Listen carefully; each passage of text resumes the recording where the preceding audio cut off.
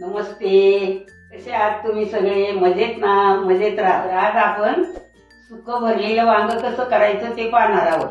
तुम्ही भरलेल्या वांग्याचे बरेच प्रकार बघितले असतील पण हे वांग बनवायला लई सोपं जातं आणि डब्याला पण देता येतं.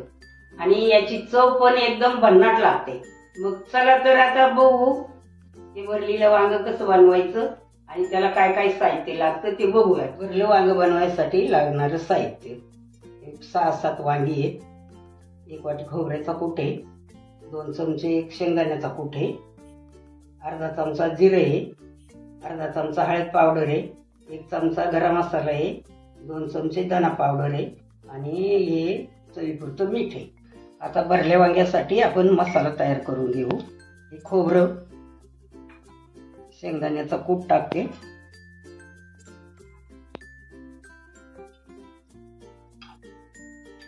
जिरं टाकते.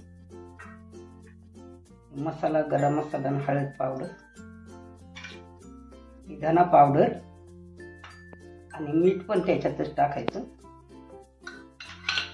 आणि आता आपण मिक्सरमधून बारीक करून घेऊ. आता आपला मसाला वाटून झालाय. हे असा मसाला वाटायचा सुक्का.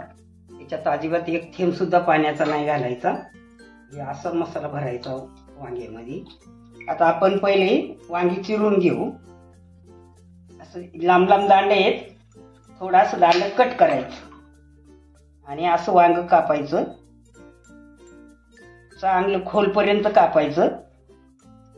आणि वांग असं उचकून पाहायचं. चांगले मग घ्यायचं. थोडं जरी काळं निघलं तरी वांग टाकून द्यायचं. हे बघा असं कापायचं. आता हे चांगलंच आहे. मग याच्यात मसाला भरायचा. प्रत्येक वांग्याचं असा दांडा काढायचा आणि असं वांग कापून घ्यायचं. वांगी उजाडात कापायची कापताना अशी आतमध्ये बघायची चांगली.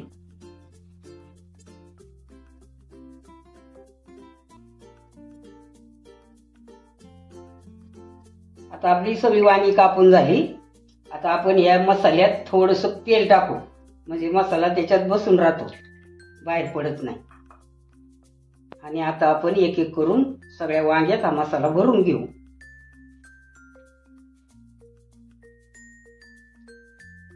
असा भरायचा वांग्यात मसाला. गच्च भरायची.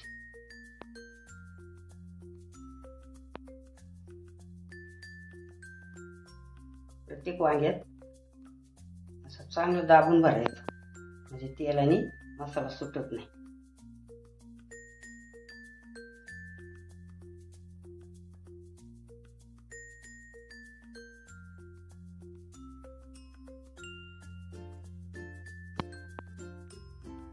आता आपल्या सगळ्या वांग्यात मसाला भरून झालाय. आता आपण कढई ठेवू आणि ही वांगी फोडणीला टाकू. हा राहिलेला मसाला वांगी शिजल्यावरून टाकायचा. तोपर्यंत नाही टाकायचा कारण मग ते जळल तो मसाला. आता आपण गॅस लावलाय त्याच्यावर कढई ठेवली त्याच्यात दोन चमचे तेल टाकले. आता तेल तापले त्याच्यात थोडी मोहरी टाकते. हा तडतडली मोहरी. आता थोडं जिरं टाकू. आणि आता एक एक वांग सोडते मी त्याच्यात. अजिबात पाणी नाही टाकायचं. एकदम आपली सुकीची सुकीच वांगी शिजवायची. सुकी शिजतात. आता याच्यावर थोडं हलवून झाकून ठेवू.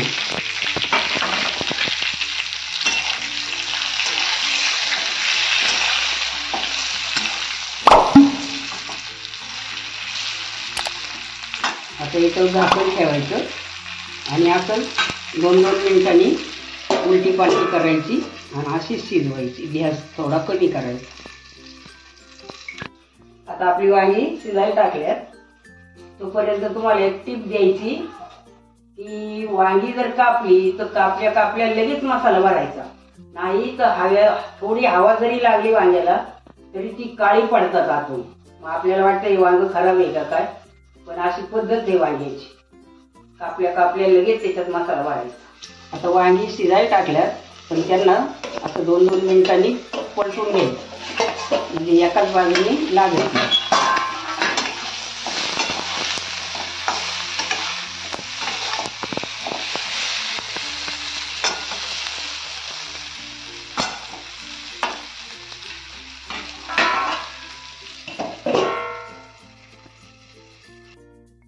आता आपण वांगी शिजलेत का बघू?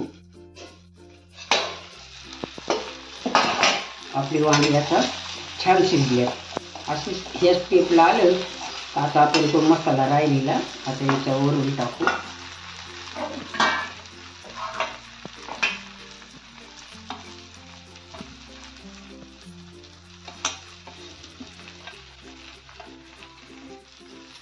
आणि थोडस मिक्स करून घेऊ.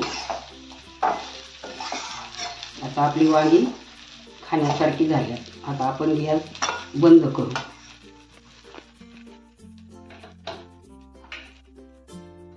आणि आता याच्यावर थोडं झाकण ठेवू.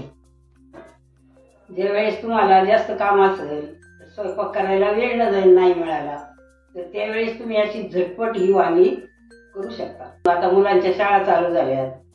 तर तुम्हाला पटकनी डब्यावर द्यायला काही भाजी नसेल तर किंवा वांगी पटकन तुम्ही करू शकता.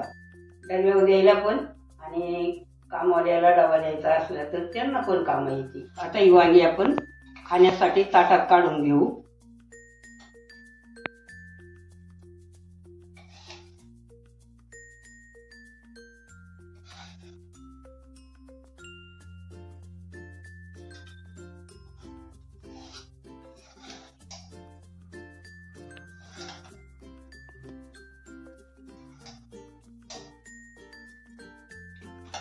आणि त्याच्यावर आपण कोथंबीर थोडीशी भरून टाकू.